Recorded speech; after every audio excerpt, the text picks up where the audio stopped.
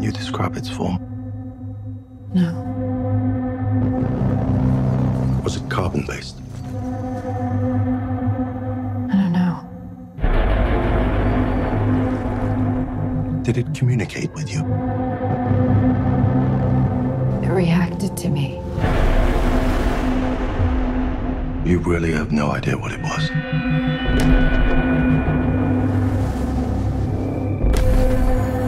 husband contact you at any point while he was away? No. It was his decision to go in. Why did my husband volunteer for a suicide mission? You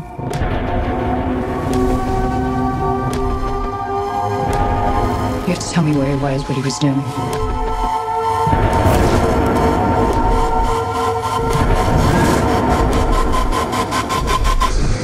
I need to know what's inside. I could save him.